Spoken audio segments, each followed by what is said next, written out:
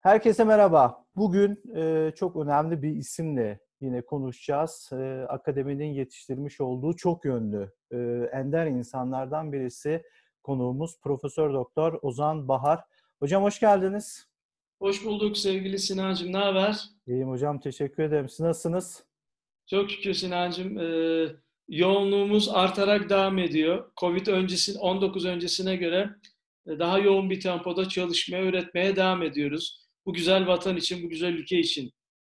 Hocam benim çevremdeki en yoğun isimlerden birisisiniz. Ee, evet. Ben onu da merak ediyorum. Şimdi biz de aslında e, bir, bir planlama yaptık. Sizin saatiniz yok işte benim uymadığı, şey yapmadığı en sonunda bir şekilde buluşabildik yani. Evet. ya uzun bir süredir bunu planlıyorduk. İşte hocam şu saatte mi olsun, şu günde mi olsun, yok burada ben yoğunum, şurada benim başka bir programım var diye. Hocam evet. bir şey sorayım. E, ne kadar yayın oldu? Saydınız mı? Ee, e, şey, Covid-19 sonrası mı? Aynen, Covid-19 sonrasında. Vallahi Sinancığım saymadım ama herhalde 10-15 olmuştur diye tahmin ediyorum en az. Belki yani de daha fazla. Fa- fazla olmuştur hocam. Çünkü ben bir Çünkü her hafta benim takip ettiğim bir 20'ye yakındı. Hani ondan belki acaba takip etmekten olabilir. Yani her hafta en az bir iki toplantım oluyor. Yani Zoom'lar gözükmüyor çünkü internette, Instagram'da Zoom toplantıları yer almıyor ama görünen anlamda e, haftada iki, iki tanesi gözüküyor yani. E, YouTube kanalıma ben de koyuyorum veya Instagram'dan, e, sosyal medyadan paylaşıyorum. Vallahi olmuştur çünkü sağ olsunlar Türkiye'nin her yerinden insanlar hatta bir gün yine aradılar. E, hocam haftaya bir program yapalım dediler. Tamam dedim. E, yani sağ olsunlar bizde bir şey görüyorlar demek ki e, Sinancığım. E, davet ediyorlar. Biz de davete icap ediyoruz. Sünnettir malum biliyorsun. Aynen. Bildiğimizin alimiyiz. Bildiğimizin alimiyiz. Bilmediğimizin talibiyiz Sinancığım. Çok güzel bir enerjiyle karşıladınız. Biz zaten hemen öncesinde de birkaç dakika konuşurken de o enerjiyi alıp da yani Eyvallah. çünkü benim için bugün çok yoğun bir gündü. O enerjiyle ben de böyle bir anda üzerimdeki o şeyi attım yani. Dinç oldun. Dinçlendim. Hocam ben şimdi e, dediğim gibi biz öncesinde böyle planlıyorduk. Siz gelince biz de böyle biraz dersimize çalıştık ya Ozan Hoca'yı bulmuşken böyle birkaç tane soru, konuyu şey yapalım, açalım. Aslında tek bir konu değil. Şimdi biz genellikle konuklarımızı işte bir ana tema üzerinden e, sorular soruyoruz ama Evet. Sizi bulmuşken ben birkaç tane soru da sorayım. Hem de biraz böyle e, tamam. E, yani yaşantılarınızda ve tecrübeniz, bilginizle daha fazla e, faydalanmaya çalışalım. Şimdi hocam Eyvallah. ilk olarak şunu sorayım. E, şimdi Covid-19 ortaya çıktığı zaman biliyorsunuz dünyada birçok komplo teorisi ortaya atıldı. İşte e, evet. bunun Amerika tarafından e, bir virüs üretildiğini, hatta Harvard'da FBI tarafından bir e, akademisyen gözaltına alındı. Sonra FBI birkaç gün sonra bu iddiayı yalanlarcasına bir şey yaptı, açıklama yaptı ama şimdi tabii geçmişe bakarsanız bu da çok insana inandırıcı gelmedi. Sonrasında evet. e, Çin'in çıktığını söyler. İşte Trump da bunu çok destekledi. Şimdi buradaki en büyük bir de e, benim çok dikkat ettiğim bir husus da şuydu. E, bir iktisat profesörü olarak size soruyorum. Şimdi hep böyle bizde bir ekonomik kriz olduğu zaman 1929 e, o büyük buhrana atıf yapılıyor evet. ya. Şimdi herkes böyle büyük bir buhranın da karşı karşıya olduğunu söyledi ama geçenlerde Forbes çok önemli bir e, haber yayınladı, bir makale yayınladı biliyorsunuzdur. E, ve dünyada Covid-19 sonrasındaki değişen e, ekonomik dengeleri söyledi. Aslında o listeye baktığımız zaman, o makalenin böyle detaylarına baktığımız zaman liste çok da değişmedi hocam.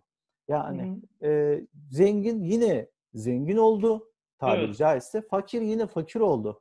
Benim açıkçası bir iktisat profesörü olarak hocam bu süreçte bu ekonomik dengelerle yani biz çok böyle ezber bozucu bir şey olduğunu zannettik ama çok sanki bir şey değişmemiş gibi. Ne dersiniz hocam bu süreçle ilgili? Ee, yapılan öngörüler şöyle. Şu anda dünya hasılası yaklaşık 100 trilyon dolar. Ee, Amerika bunun işte 20 trilyon dolarlık kısmını oluşturuyor. Ee, yani çok büyük bir ekonomi. Dünyanın en büyük ekonomisi Amerika tabii hiç kuşkusuz. Evet hocam. Ama son 15-20 yıla da bakarsak tabii Çin e, tedarik zincirinin tepesinde bulunuyor. Bugün Amerika'daki birçok firmadan tut da Avrupa, Türkiye dahil e, ucuz emek e, iş gücünden yararlanmak için yani aylık bir adamı sen e, bir ay boyunca çalıştırıyorsun ve haftada yaklaşık 60 küsür saat çalışıyor ve bu adama 20-30 dolarlar veriyorsun. Düşünebiliyor musun? Şimdi bu korkunç bir rakam. Ee, bundan dolayı tabii Çin müthiş bir tedarik zinciri yaratmıştı ve e, yaklaşık 1990'lardan 2000 işte 15 e, 2017'lere kadar bir 10-15 yıllık periyotta %10'un üzerinde e, kesintisiz bir büyüme sürdürdü ki bunu dünyada bu şekilde sürdürebilen hiçbir ülke yok. Çift taneli büyüme yapmak çok zordur. Ama Çin bu tüm dünyanın üretimini e, yani yaklaşık %30-35'lik kısmını Çin o meydana getirdiği için e, tabii e, bu virüs süreci e, Çin'de yani Amerika mı yaptı, Çin mi yaptı tabii bu, biz bunu bilemiyoruz. Hani kim doğru söylüyor, kim yalan bu bizi aşan bir konu ama bildiğimiz bir şey varsa evet yapılan öngörülere göre bu yıl 2020 yılı için dünya hasılasının %0.5'ine tekabül eden yaklaşık 350 milyar dolarlık Sinancım bir hasıla kaybı olacağı ifade ediliyor. IMF ve Dünya Bankası'nın öngörüleri biraz daha karamsar. İşte Amerika'nın yüzde altı gerileceği tahmin ediliyor. Yüzde beş altı bandında. İşte Avrupa'da e, Almanya yüzde yediler civarında. İtalya, İspanya, Fransa daha kötü yüzde dokuzlar civarında bir küçülmeden bahsediliyor. Türkiye için yüzde beşlik bir küçülme e, öngörülüyor.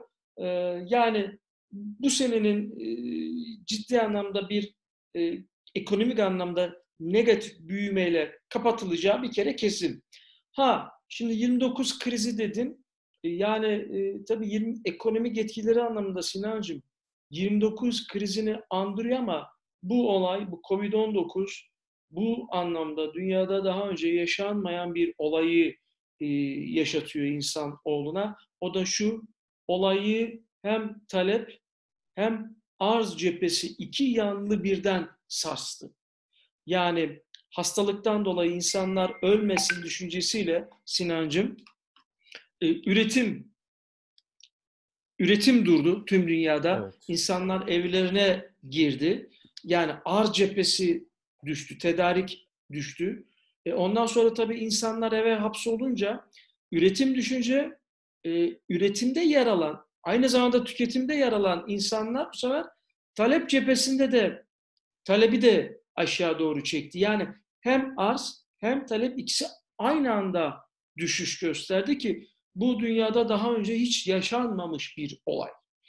Ama ekonomik boyut anlamında evet en yakın 29 buhranına andırıyor. Çünkü bu krizin etkilerinin 2020, 2021 hatta 2022 deniliyor.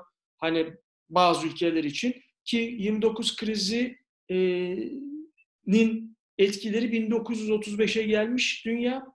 Hala dünya ekonomisi kendini toparlayamamış. Yani üretimdeki düşme, uluslararası ticaretteki düşme, fiyatlardaki düşme bakıyorsunuz 1935 yılına geldiği zaman takvim hala 29 yılını bas kabul edersek, 100 bas kabul edersek onun hala çok altında. Hmm.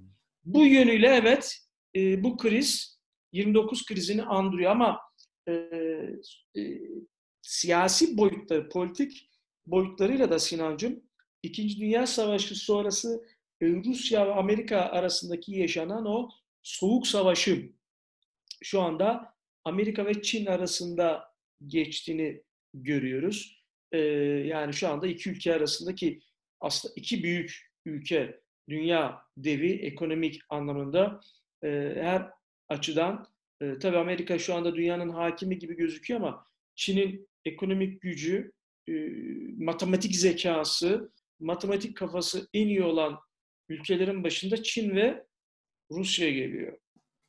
Yani gerçekten müthiş bir zekaya sahipler. E, bu anlamda Türkiye'ye bakacak olursak yani durum bu. Türkiye tabii bu Covid öncesinde de zaten çok kırılgan bir ekonomimiz vardı. Ne yazık ki e, gelişmekte olan ülkeler, emerging markets deniliyor artık. Yani gelişmekte olan ülkeler tabiri pek kullanılmıyor da artık yükselen piyasalar tabiri kullanılıyor. Emerging markets deniliyor buna İngilizce. E, ne yazık ki enflasyon oranının en yüksek olduğu, faiz oranlarının en yüksek olduğu, işte cari açığın en yüksek olduğu, ulusal paranın son 5 yılda en çok değer kaybetti. Yani hemen hemen tüm ekonomik göstergelerde Türkiye ne yazık ki en son sıralarda yer alıyor e, Sinancığım. Aslında Ve şey de öyle swap... hocam. 1929 buhranı da öyle ya bizim tam sanayileşmeye e, başladığımız evet. bir dönemde geldiği için sonra tekrardan Tabii. devletçilik modeli geliyor. İşte o meşhur 1935'teki o e, ekonomik toplantıları falan var. Yani bir de işin bu tarafında da var yani uluslararası boyutu da var. Şimdi burada da uluslararası boyutunda en çok etkilenen yine Türkiye. Tabii. Yani, hani bundan... Ama buyurun hocam. Evet evet söyle pardon.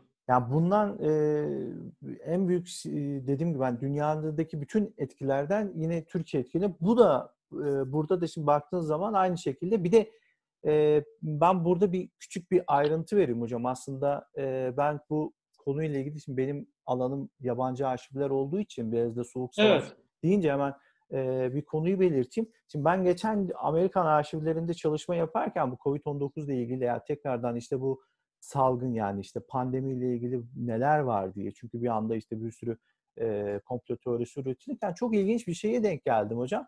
1900 e, e, yani İkinci Dünya Savaşı'nda işte 45'ten 65'e kadar 63'te aslında tamamen oturuyor ama bu süreçte e, Çin'de ve Rusya'da Amerika'nın kendilerine karşı bir e, biyolojik saldırı yapacağından dolayı çok ciddi e, şey yapıyorlar. Pandemi şeyleri yapıyorlar, çalıştayları yapıyorlar. Çok önemli evet. hazırlıklar yapıyorlar. Bunun temel nedeni de Hiroşima'ya atılan e, atom bombası. O atom evet. bombası aslında Rusya'da ve e, Çin'de öylesine bir e, bilinçaltına işliyor ki o dönemde de bayağı bir ciddi ciddi çalışmalar var. Bunu Amerika'da işte raporlarını yapıyor. Şimdi aslında bir taraftan da bakarsanız bu süreçte de çok hızlı bir şekilde geçti özellikle Çin. E, yani o dönemden gelen bir tecrübe de var. Şunu söyleyeyim evet Atatürk ben harp okulu mezunuyum. O o dehanın okulundan mezun olmakta her zaman gurur duyuyorum. Yani onunla aynı sıralarda oturmaktan o havayı solumak benim için büyük bir gurur. Ve ben uzun yıllar fakültemde Türk İktisat Tarihi dersleri anlattım.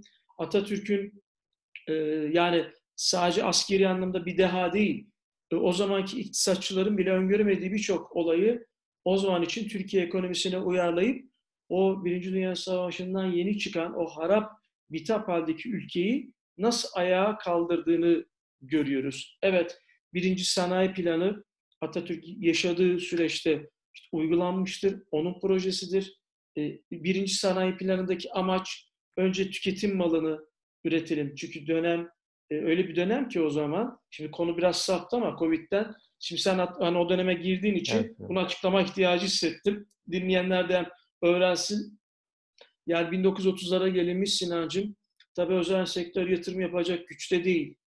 Atatürk bekliyor ki hani ilk İzmir İktisat Kongresi yani liberal felsefeyle büyüyelim diyor zaten. Hani özel sektör öncülüğünde büyüyelim deniliyor. Ama 1930'lara gelinmiş Türkiye hala basit bir tüketim malı olan şekerin %74'ünü ithal ediyor. Bir gün tekstilde ta Osmanlı'dan gelen tekstil ülkesi konumunda olan Türkiye çuhanın yani bezin, çuhanın %54'ünü ithal ediyor. Atatürk bu böyle olmayacak diyor. Ne yapıyor? Devletçilik prensibiyle devlet kamu iktisadi teşebbüsleriyle e, işin içine giriyor ve tabii işte e, Merinos, Yünlü Dokuma, işte Ereğli Demir Çelik, işte Sümer Bank gibi adını e, tek tek zikretmeyeyim. İşte Eti Bank gibi birçok büyük, önemli e, kamu iktisadi teşebbüsler ki şu anda birçoğu faal değil zaten. Ama 20 tane işletme o dönem Türkiye'yi bu anlamda ayağa kaldırıyor. Ve ilk etapta tüketim malını, ithal ettiğimiz tüketim malını üretmeye odaklanıyor Atatürk. İkinci sanayi planını hemen devreye sokmaya çalışıyor ki ikinci sanayi planındaki amaç ülkenin ithal ettiği bu ara ve yatırım mallarını üretmek. Ama ne yazık ki hem Atatürk ölüyor hem İkinci Dünya Savaşı ve ne yazık ki Türkiye ikinci, ikinci sanayi planını devreye koyamıyor ama koysaydı Türkiye bugün çok farklı yerlerde olabilirdi. Neden? Şimdi gün bugüne gelelim. Türkiye ekonomisi bugün çok kırılgan Sinancığım. Covid öncesinde de çok kötüydü. Swap kalemini çıkarsak bugün Merkez Bankası rezervleri negatif. Faiz oranlarımız işte 55 bas puan indirime gitti geçen hafta Merkez Bankası. 8.25 ile yükselen piyasalardaki en yüksek, Avrupa Birliği'ndeki en yüksek faiz oranları bizde. Enflasyon oranımız e, hakeza işte yıllık bazda yüzde 13'ler civarında. Hal böyle olunca e, yüksek teknolojili mal ihracatına bakıyoruz Türkiye'nin. Yüksek teknolojili bak altını çiziyorum. Tüm ihraç ettiğimiz kalemler içerisinde yüksek teknoloji mal ihracatı Sinancım yüzde beşin altında. Ve sanayi sektöründe, turizm sektöründe istihdam çok hızlı artıyor. İnşaat sektöründeki Türkiye'nin dinamo sektörleridir bunlar. Yani imalat sektörü, inşaat sektörü, turizm, istihdam oransal olarak çok fazla artarken katma değerli ürün üretimine bakıyorsun. Tam tersi daha düşük miktarda katma değerli üründe artış var. Yani istihdamdaki artış çok fazlayken ürün artışı o istihdam artışının çok çok gerisinde. Yani biz bazı şeyleri verimsiz yapıyoruz. Biz bazı şeyleri yanlış yapıyoruz. Bugün Türkiye'nin orta yüksek teknolojili, bundan 10 sene 15 sene önce orta yüksek teknolojili e, mal ihracatının oranı %7-8'lerden bir gün düşmüş ve bir gün orta düşük teknolojili daha ziyade mal ihraç eder konuma gelmişiz. Ve ithal edip bu ürünleri, bu ihraç ettiğimiz ürünleri de ara malı, girdiği ara ve yatırım malını yurt dışından ithal ediyoruz. Onu üretiyoruz, ondan sonra ihraç ediyoruz. Yani bu noktada böyle bir sıkıntımız vardı. Ha, şu ana bakacak olursak Türkiye eğer bir gün Amerika özellikle Avrupa komşu ülke olarak, Avrupa'yı ülke olarak kabul edersek en yakın komşumuz ve en büyük ticari partnerimiz. İhracatımızın yüzde 40 küsürü, ithalatımızın da yaklaşık yüzde 40'ı yani ihracatın yüzde 50'ye yakını, ithalatın da yüzde 40'a yakınını biz Avrupa ile yapıyoruz. Ha ne olur bu dönemde konuşulan birçok konulardan biri de şu, eğer Çin'e artık ülkeler eskisi gibi tedarik zinciri olarak Çin'le iş yapmayıp kendi ülkelerine yerele dönerlerse, dönecek olurlarsa ki bu bir ihtimal, Türkiye bu noktada şuna karar verecek. Avrupa'nın, Amerika'nın Çin'den boşalma ihtimali olan ürünlerini üreten ülke olarak tedarik zincirinde Çin'in boşluğunu doldurmaya çalışacak ya da ya da yönünü Çin'e çevirip Çin'in ürettiği ürünleri ithal etmeye Sinan devam edecek. Türkiye'nin Türkiye'nin buna çok iyi karar vermesi gerekiyor. Hocam şimdi e, birçok sektör bu konuda çok e, olumsuz şekilde etkilendi bu süreçten de. Şimdi evet. e, ben sizin yakın zamanda yayınlanan bir makaleniz de vardı aslında bunun turizmlerin etkisiyle ilgili. Şimdi bizim bulunduğumuz bölgede turizm gelirlerinin çok yüksek olduğu evet. bir bölge. Yani bölge büyük bir geçim kaynağı. Yine aynı zamanda çok önemli bir istihdam kaynağı. Yani benim evet. de işte bir dönem işte onun ekmeğini yediğim e, bir e, sektör. sektör. Onun için hocam bu e, yani diğer sektörlerden ziyade turizm biraz daha önemli. Çünkü hem bölgesel açısından hem de istihdam açısından bir de tam sezona geçiyoruz. E, evet. Turizmde neler olacak, neler beklenti, nasıl bir sonuç olacak, e, neler öngörüyorsunuz hocam? Valla e, Sinancığım, e, tabii e, Heckscher-Ohlin teorisi diye bir teori vardır iktisatta. E, şunu söyler o teori, bir ülke hangi üretim faktörüne bol olarak sahipse o faktörü kullanıp üreteceği malları ihraç edip e, buradan kazançlı çıkması gerekir. Yani döviz gelirini, ihracat gelirini bu şekilde arttırmalıdır. Kendi ülkesinde üretmediği ürünleri de buradan elde ettiği, ticaretten elde ettiği gelirle de ne yapmalıdır? İthal etmelidir denir. Şimdi hal böyle olunca tabii Türkiye turizm ülkesi. Ve ben hep geçen TV Yüzde Hanım'la da bunu konuştuk.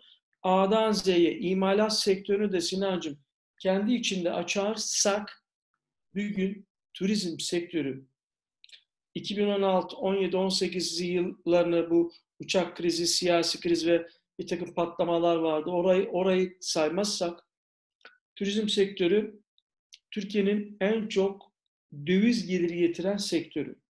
Yani müthiş bir ihracat geliri var ve bunu da yurt dışına bağımlılığı en az şekilde yapıyor Sinan.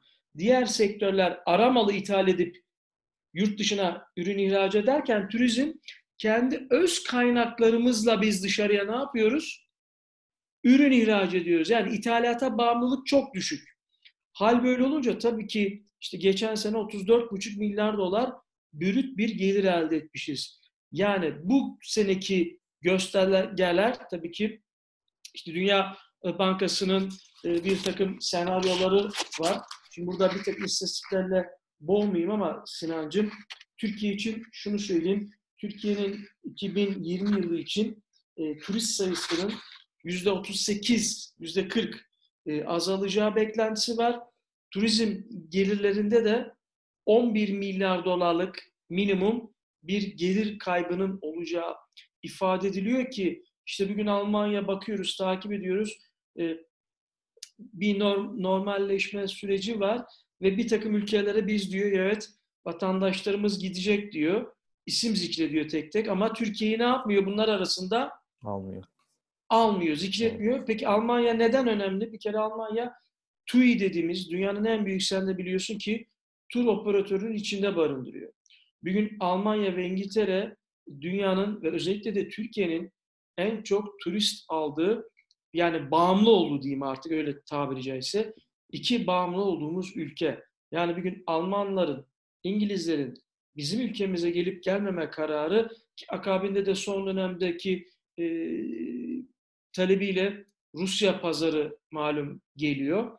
E, bu noktada tabii bu ülkelerdeki hastalığın seyri ve bu ülkelerdeki e, yabancı turistlerin e, tatil anlamında ülkemize gelip gelmemesi bizim bu yılki durumumuzu e, netleştirecek. Şu anda bir takım öngörüler var ama Sinancığım e, hiçbir şeyin şu anda garantisi yok. Evet şu anda Türk Hava Yolları 4 Haziran'da iç uçuşlar, e, iç hatlar, işte 11 Haziran'da dış hatlar diyor ama e, yabancı turist gelmediği sürece, gelmek istemediği sürece ciddi sıkıntı Sinancığım. Ama e, Turizm Bakanlığı güzel bir iş yaptı. Bir takım ülkelerle telefon trafiği başlattı biliyorsun, takip ediyorsun.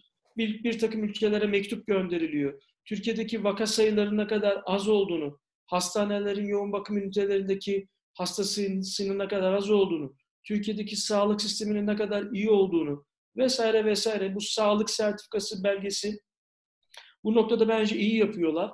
Ee, Hatta Yunanistan'la beraber de bir ortak hareket edelim. Yunanistan'la beraber de bir ortak hareket tabii, edelim. Ege'yi Yunanistan bunlardan tabii, arındıralım diye bir proje tabii, de vardı. Yunanlılar kendi zaten biliyorsun onu başlattı. Evet. Yunan tekneleri, kruz gemileri yani çünkü e, Sinancığım bu herkese zarar. Yani burada Avrupa belki milliyetçilik yapıyor ama yani bir gün bir insanın, bir turistin Yunanistan'a, Türkiye'ye gelmesi hani bir iş anındaki e, bir loncadaki ayakkabıcıları düşün. Yani bir yerde sıra sıra hep ayakkabı satan dükkanlar var ama onlar birbirinin rakibi gibi gözükmesine karşın hep beraber bir sinerji yaratıyorlar biliyor musun? Kesinlikle. Yani bir gün Kola Turka yıllar önce piyasaya girdiği zaman piyasada Coca-Cola var, Pepsi var biliyorsun. Hatta Coca-Cola Turka Amerika'da çekilen reklam filmleri vardı hatırlıyor musun? Evet, çok meşhur reklam filmleri. Çok meşhur reklam filmleri vardı. O sanatçının adını unuttum şimdi aktris. Ee, şunu gördük sonraki süreçte bazı istatistikler. Ee, Kola Turka Türk kolası olarak piyasaya girdikten sonra e, Coca-Cola'nın, Pepsi'nin Kola Turka ile beraber piyasa payları yüzde 17 artmış. Yani birbirine rakip gibi gözüküyorlar ya. Kola Turka'nın piyasaya girmesi diğer iki firmanın da talebini arttırmış. Bak görebiliyor musun? Yani bir gün evet Yunanistan, İspanya, Portekiz bizim rakiplerimiz ama ortak bir sinerjiyle Bu işten herkes ekmek yiyebilir ama Türkiye'nin bu noktada da yine Covid öncesi sıkıntıları var. Bak benim bir gün Cumhuriyet Gazetesi'nde çıkan yazım da yine sağlıklı ve kontrollü turizmdi. Ee, ısrarla ben bunun üzerine vurgu yapıyorum. Geçen TV yüzde yine Aha Hanım'la bunu konuştuk. Ee, o kadar önemli ki Sinancığım. Şimdi bir gün e, Avrupa Birliği 520 milyon kişiden oluşuyor. Ve bunun 125 milyonu yaşlı nüfus. Bak dikkat et. Ve biz bu 125 milyonun 1 milyon 250 binini, yüzde birini Türkiye'ye çekebilmiş olsak bu yaşlı insanlar her ay 3500-4000 euro civarı sağlık harcaması yapıyor. 6 ay 7 ay bu harcamaları yapıyorlar. Geriatri, medikal, engelli, yaşlı, termal olarak sağlık turizmi dörde ayrılıyor biliyorsun. Biz bugün bu 1 milyon 250 milyonu 250 bin kişiyi Türkiye'ye çekmiş olsak 6 ay Türkiye'de kalmış olsalar ortalama 4 bin euro değil ya 2 bin euro harcamış olsa 1 milyon çarpı 2 bin euro de hesabı sen yap aylık. Ama biz deniz, güneş, kuma kendimizi bağlamışız. Almanya, Rusya, İngiltere, Hollanda pazarını da ikinci bir bağlılık yapmışız ki benim yine Hollanda hastalığı dediğim bir e, turizmde Hollanda hastalığı dediğim bir makalem vardır. Yani biz en önemli sektörümüz turizm. Turizmde de deniz, güneş, kuma ve Almanya, İngiltere, Rusya'ya kendimizi bağlamışız. En ufak bir krizde Rusya ile olan 2015'teki uçak kriziyle başlayan süreç bizim bu anlamdaki sıkıntımızı ortaya koydu. Şimdi biz sağlığı bir gün çok iyi, tabii Muğla'daki, Antalya'daki, İzmir'deki, İstanbul'daki kamu ve özel sektör hastanelerinin e, personel sayısını güçlendirip, yatak sayılarını arttırıp, Turizm Bakanlığı, Ulaştırma Ticaret Bakanlığı, e, Sağlık Bakanlığı, şimdi sağlık turizmi sağlık turizmi deniyor ama içi boş. Çok iyi bir, e, modelle, çok iyi bir planlamayla, e, çok iyi bir planlamayla bunu biz ürün olarak satabilmiş olsak Sinancı. Kesinlikle hocam. satabilmiş olsak Türkiye bugün turizmden muazzam gelir elde eder. Bak bir gün Antalya'da otelini kapatmayıp yurt dışından yabancı turist ağırlayarak bu Covid krizini kendi ülkesinde değil Antalya'da bazı otellerde geçiren insanlar var. Biliyor musun bunu? Oo. Tabii. Şimdi otel ismi zikretmeyeyim. Yani Türkiye'nin şöyle bir avantajı var. Bir, e, hani bu Covid'den sonra Çin'in boşalttığı tedarik zincirini doldurabiliriz. İki, tarım çok önemli. Tarım ve turizm stratejik sektör bence. Endüstriyel tarımı öne çıkartıp e, az girdiyle çok verim sağlayacak, çok fazla ürün elde edecek şekilde tarım, turizm, sağlık üçünü bu süreçte çok akıllıca eğer biz kullanabilirsek Sinancığım bu krizi lehimize çekebiliriz. Ülke insanının buna çok ihtiyacı var. Hocam şimdi bu deniz kumla ilgili geçen yıl hatırlarsınız Thomas Cook battığı zaman evet. e, yaşadıklarımızda buna en iyi örnekti aslında. Yani evet. oradan bir şekilde sinyalini vermişti. Şimdi evet. e, tabii yani aslında biraz realist konuştuk. Hani işte realist tabii dinleyenler ya işte çok karamsar değil. Aslında her şeyi realist olarak konuştuk. E, işin gerçeği bu. Şimdi bir taraftan da hocam normalleşmeye başlıyoruz. E, evet. Yavaş yavaş artık şeyi belli olmaya başlıyor. Ancak ben şimdi e, normalleşme sürecinde e, hep şunu gördüm. İşte ekonomik kaygılar var, işte başka diğer e, meseleler var. Hani ta, ama genel olarak ekonomik kaygılar konuşuluyor. Ancak evet. yani biz e, mekanik bir şey değil. Yani şimdi uzun bir süredir insanlar evlerinde e, bunun insanların üzerinde çok ciddi bir psikolojik etkisi de var. Baskısı yani, var. Tabii bunu da bir konuşmak lazım. E, çünkü insanlar işlerini kaybettiler, gelirleri azaldı, çok daha bambaşka sorunlar çıktı. Evet. Yani biz artık bunlara çok fazla fırsat vermediğimiz için değil. Şimdi biz geçen bir videomuzda da e, Güven hocamızla beraber bu konuyu konuştuk. Ancak biz süreçteki psikolojiyi konuştuk. Şimdi bir de sonrasını. Senin yakın zamanda hocam çok önemli bir kitabınız var. Bu kitap e, çok satanlar listesinde de vazgeçme. E, evet. Şimdi burada bir hayat hikayesinden de bahsediyorsunuz. Evet şu anda da ekrandaki olan kitap. E, şimdi hocam e, benim aslında şurada en önemli nokta şu. Tabii e, psikoloji çok bambaşka bir olay. Yani e, gerçekten profesyonel bir destek alınması gereken unsur. Daha çok konuşulması gerektiğini inanıyorum. Bu evet. konuyla ilgili hocam e, tavsiyeniz nelerdir? Ne yapılması lazım? Biraz da e, bu çok yönlü e, akademisyen kimliğinizle yazmış olduğunuz o e, esere de dayanarak ne gibi tavsiyeleriniz olur hocam? Evet.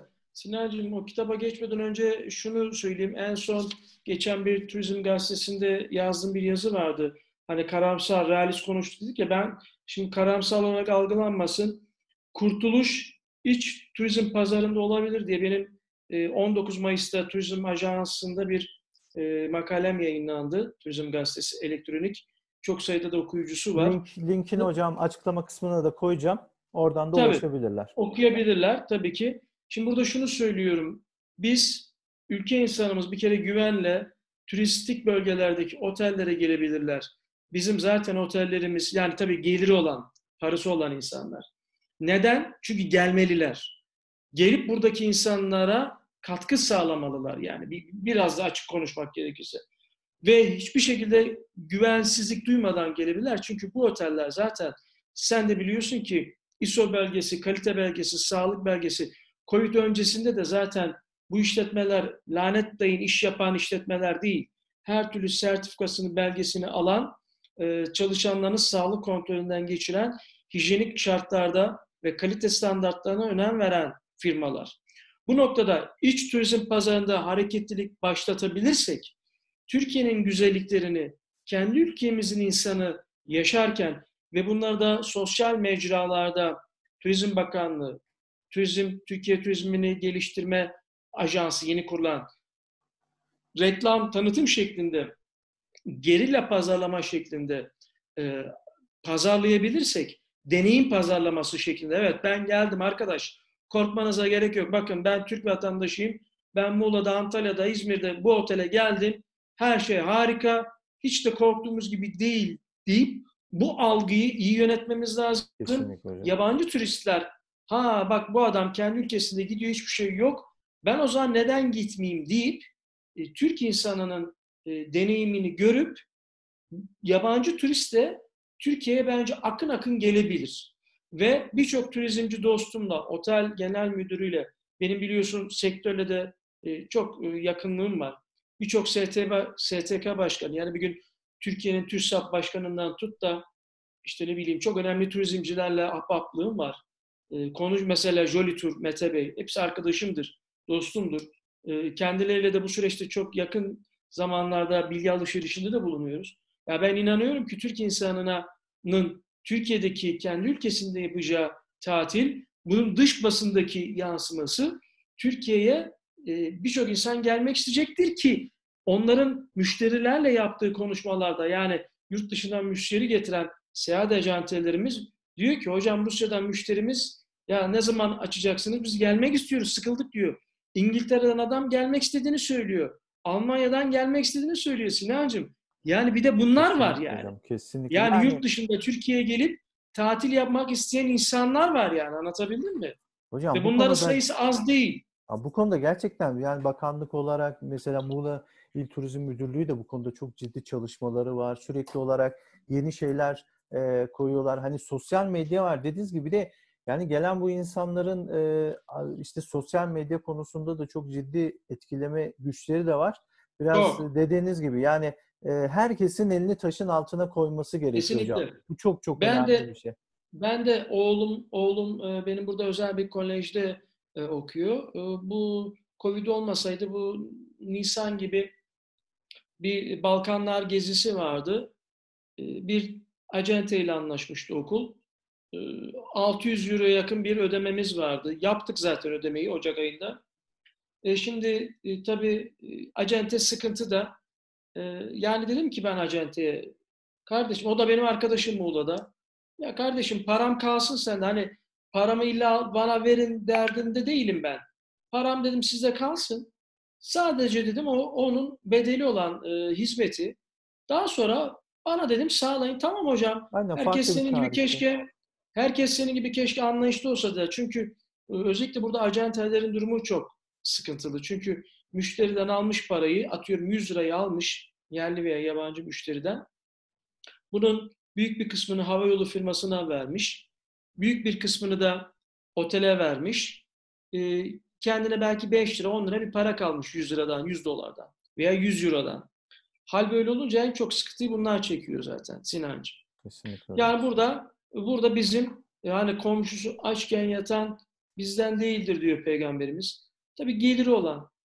Çünkü bu süreçte birçok insan işini kaybetti. Kısa çalışma ödeneğiyle turizm sektöründe de hayatını idame ettiren insanlar var ve ne yazık ki eğer turizm sektöründe 8 milyona yakın hani doğrudan ve direkt dolaylı istihdam haricinde nemalanan kesim turizmden mal götüren getiren uzatmayayım.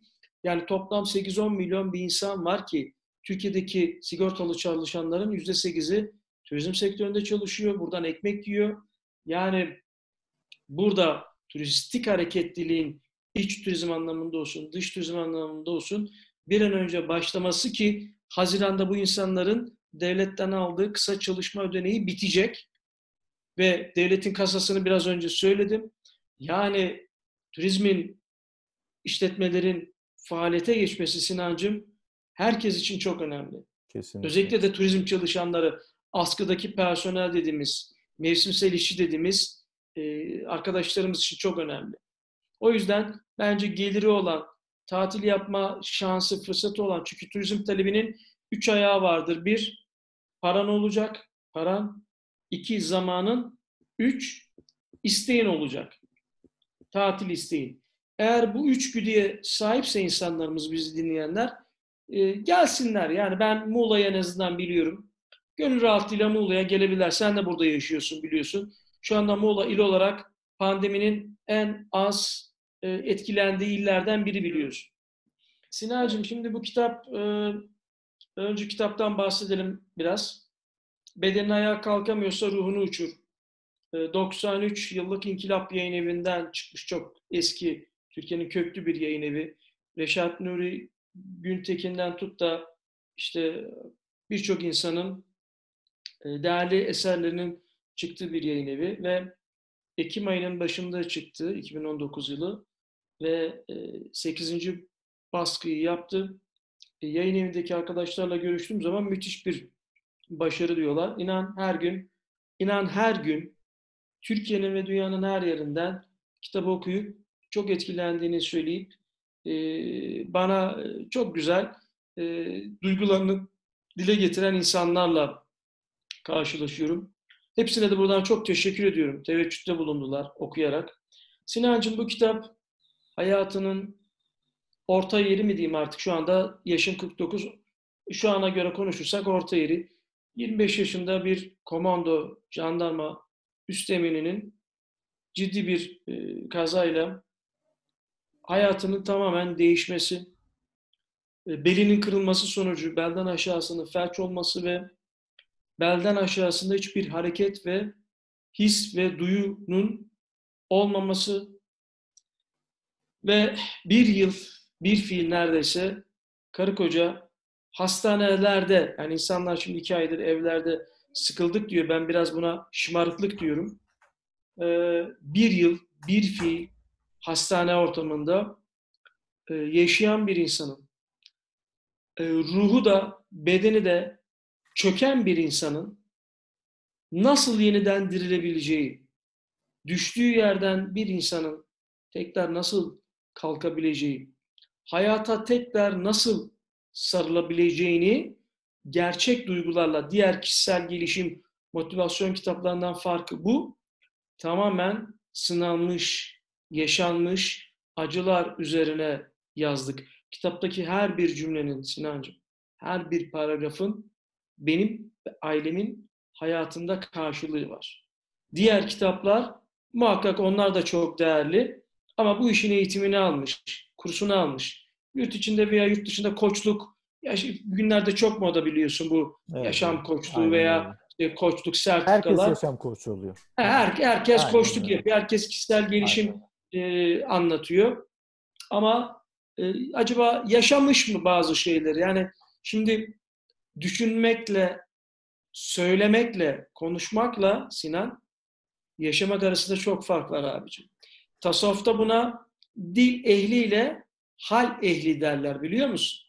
Yani dil ehli. Konuşuyor, çok güzel konuşuyor, çıkıyor ve saat başına çok ciddi ücret alıyorlar. Bildiğin gibi de değil. Ama acaba başına gelse aynı şeyleri aynı şekilde konuşabilecek mi? Anlatabiliyor muyum? Ama ben ben ama hepsini yaşadım. Ve bu kitap, bu kitap Yüzbaşı Ozan Bahar'ın yaşadığı kaza sonrası Profesör Doktor Ozan Bahar'a dönüşümünün Türkiye Cumhuriyeti tarihindeki ilk tekerlekli sandalyedeki dekanının hayat hikayesini ele alıyor. Özü nedir? Özü sevgidir. Bu kitabın özü sevgidir. Bu kitabın özü sadakattir.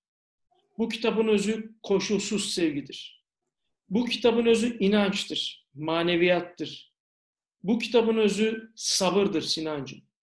Bu kitabın özü çok çalışmaktır. Bu kitabın özü mücadele ruhudur. Bu kitabın özü kaç kere düşersen düş, her seferinde tekrar ve tekrar ayağa kalkmaktır. Evet ben tekerlekli sandalyedeyim, bedenen ayağa kalkamıyorum ama ruhum, Allah da biliyor ya, herhalde ayağa kalkmış ki biraz önce sen de konuşmanın başında söyledin, hocam üniversiteye bakıyorum dedin. Hani hala bu halinizle e, maşallah dedin çok hani gayretlisin. Yüksek tempoda çalışıyorsun dedin. Yani okumalarını tavsiye ederim Sinancığım. Yani şu anda evde kalıyoruz. Canımız çok sıkılıyor demek çok büyük şımarıklık. Nefes alıyor musun kardeşim? Sen ne demek sen nefes almanın ne demek olduğunu biliyor musun? İşte bilmiyorsan evde canın sıkılır. Sen kendi yemeğini kaşıkla kendinin yemenin ne anlama geldiğini biliyor musun arkadaşım? Bilmiyorsan evde canın sıkılır. Sen çok afer şeriatta ip yoktur. Sen kendi ihtiyacını, tuvalet ihtiyacını kendinin karşılamanın, kendi kıyafetini kendini rahatlıkla hiç düşünmeksizin giyip çıkartabilmenin ne demek olduğunu biliyor musun arkadaşım? Bilmiyorsan evde olmak sana büyük bir ızdırap veriyor demektir. Sen görmenin, duymanın, işitmenin, konuşmanın, kendini ifade etmenin ne demek olduğunu bilmiyorsan evde canın sıkılması çok doğal. Yani dediğiniz gibi işte hani e, yani insanların işte söylemleri yani ben bu kişisel gelişim kitaplarını e, aslında hiçbir zaman şey yapmazdım hocam. E, itimat etmezdim. Dediğim gibi yani bunlar e, hani eskiden vardı ya işte kahvelerde işte bir abi gelir ya bunu böyle yapma bunu böyle etme falan evet. filan diye şeyinde hani Nasrettin Hoca'nın yani biraz ironik olacak affınıza sığınarak diyorum. Hani halden düşen e, şey hali anlamak için e, hali attan, düşen. attan düşeni getirin diye bir şey vardır ya fıkrası. Seminelerimde bazen söylerim öyle başlarım zaten. Yani aynen öyledir hocam. Yani bir şeyleri anlatırken fevkalade önemli. Ben de işte videonun başında da onu söyledim. Gerçekten bu süreçte e, yani sizde e, yani birçok kişiyle şimdi biz yani planlıyoruz, programlıyoruz ama sizde hocam hani şu gün yapalım, şu gün yoğunum, şu gün yapalım, şu gün yoğunum, şu saatte yapalım, şu gün yoğunum diye en sonunda bir günde dedik, bir evet. saatte onda da benim işim çıktı. Ama e, yine şey yapıldı. Ya bu süreçte yeni makaleniz de çıktı. Dediğim gibi tüm e, o bu süreçte çıkan akademik yayınları diğer basında çıkan e, makalelerinizi de açıklama kısmına koyacağım. E, Sinancığım şu anda bu Covid süreci başladıktan sonra e, hem kendi üniversitemde hem Türkiye'deki e, iktisat ve e, turizmci akademisyenler arasında ki ben iktisatçıyım ama turizm ekonomisi çalışıyorum. Bu sürece en hızlı reaksiyon veren, demeç veren, e, bir takım olumlu mesajlar veren, ilk makalesi belki de yayınlanan, bizim makalemiz çünkü Covid ile ilgili bir makalemiz çıktı hem de iyi bir dergide. Evet. E, ve e, ResearchGate'den birçok insan bizim makalemize e, talepte bulunuyor. Ve şu anda da bir yeni bir akıllı şehir, akıllı turizmle ilgili bir kitap chapter istediler. Bugünlerde de harıl harıl Sinancım ona e, odaklandım. İnşallah Haziran sonu ıı, Temmuz gibi e, yine iyi bir yayın evinden çıkacak zannedersem. Sinancım insan kaybettiğinde değil, vazgeçtiğinde her şeyini bitirir, her şeyini kaybeder. Hayat vazgeçenleri değil, hayat her zaman azmedenleri hatırlar. Engeller aşılmak içindir. vazgeçmek için değildir. Sen yeter ki iste, sen yeter ki vazgeçme. Yani bir gün başarıyı yakalayan insanlara bakın, Michael Jordan'a bakın, Vehbi Koca bakın, Sakıp Sabancı'ya bakın, Elon Musk'ın hayatına bakın, Jeff Bezos'a bakın, e, ne bileyim e, Steve Jobs'a bakın, Atatürk'e bakın.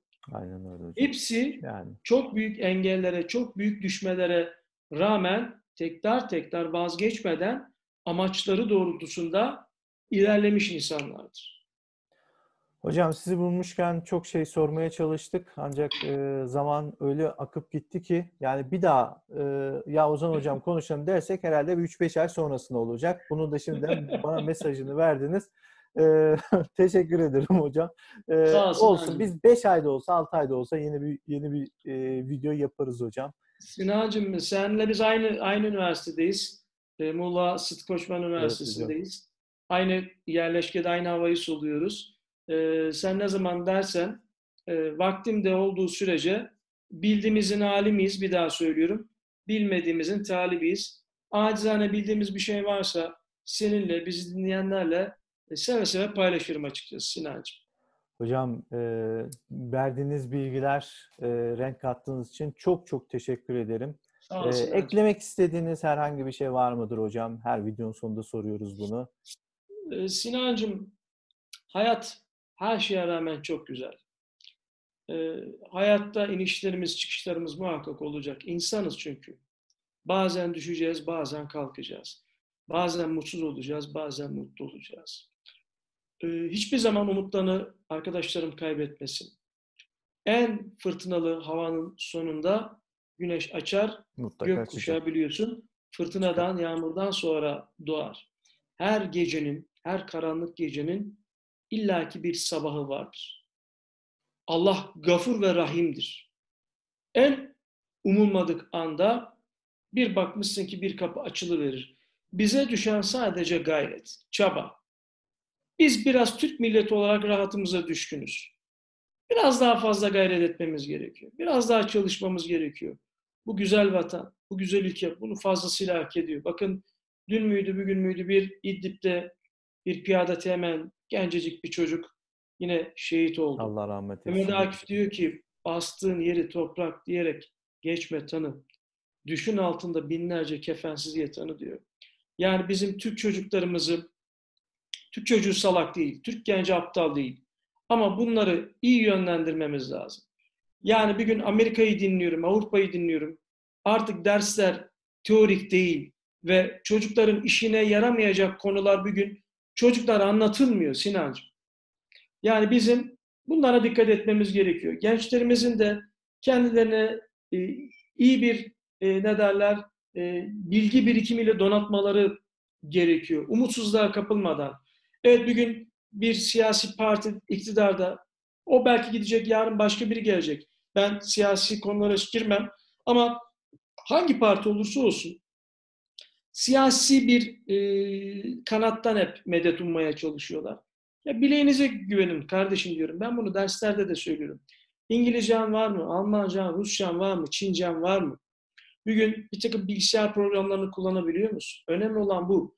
Aynen. Dünya artık bugün dijitalleşmeye gidiyor, mobiliteye gidiyor Sinancığım.